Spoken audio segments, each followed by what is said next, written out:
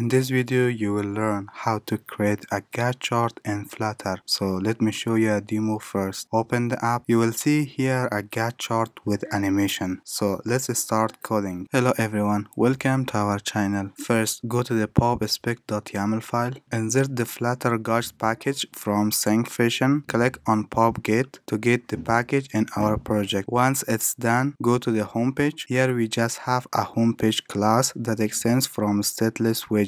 Inside the build method, return the scaffold widget. Then inside the scaffold widget, return a simple app bar. Then import the Flutter Gauges package at the top of your file. Inside the body property, return a center widget. Create a container widget and pass it to the child. Set a little margin. Inside child property, create a SF radial gauge. Inside SF radial gauge widget, we have an axis property and pass a list of radial axes. Create a radial axis widget, set the maximum to 40 and set the interval to 2. Set the label position to element position dot outside. Inside radial widget, we have a range property that return a list of gauge range widget. Create a gauge range widget, set the start value to 0, set the end value to 18.4. Set the color to colors dot amber. Create another gauge range widget, set the start value to 18. 0.5 set the end value to 24.9 set the color to colors.green create another gauge range widget set the start value to 25 set the end value to 40 and set the color to colors.red save the file and run it to see the changes so you can see here a simple gauge chart. Let's set the needle. Inside the radial axis widget, we have a pointers property. Pass a list of gauge pointer widget. Create a needle pointer. Set the value to 22.5. Set the needle end width to 5. And set the enable animation to true. Save the file and run it to see the changes. You can see here we have a needle pointer with animation. Let's create an annotation text at the bottom of needle pointer to show the current state. Inside the radial axis widget, we have annotations. Pass a list of gauge annotation widget. Create a gauge annotation widget. Create a text widget and pass it to the widget of